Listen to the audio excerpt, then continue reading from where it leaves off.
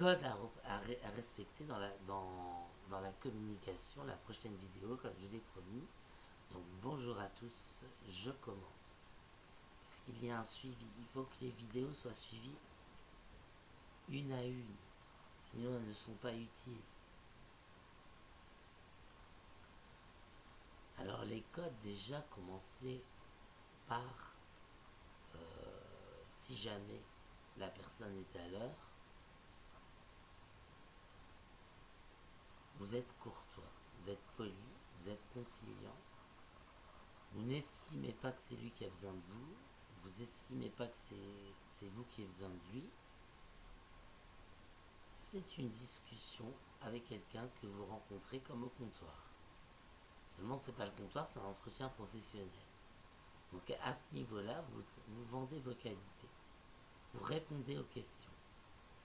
Vous ne coupez pas la parole à votre interlocuteur. Si vous commencez une phrase en même temps, c'est pas grave. Laissez-le parler.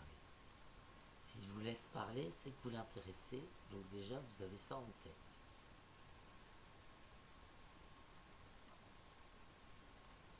Euh, question communication, s'il y a eu un retard de sa part, ou quoi que ce soit de négatif, si euh, vous n'avez pas réussi à genre de standard et que c'est par l'intermédiaire de quelqu'un d'autre que vous avez eu son rendez-vous,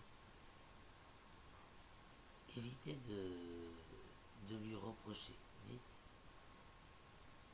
on m'a dit rendez-vous 16h, je suis venu à 16h moins 5 pour être à l'heure. Point. Vous développez pas.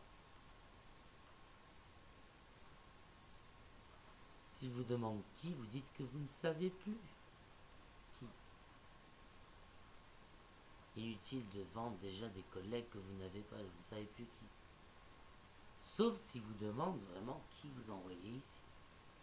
À ce moment-là, vous dites c'est un tel qui m'a envoyé ici.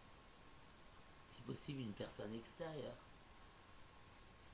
à l'établissement qui vous a envoyé pour et vous expliquer ce que vous êtes venu faire ici. Donc l'entretien, si vous l'avez eu au téléphone, c'est mieux. Si c'est par l'intermédiaire de l'intermédiaire de, voilà ce qu'il faut faire.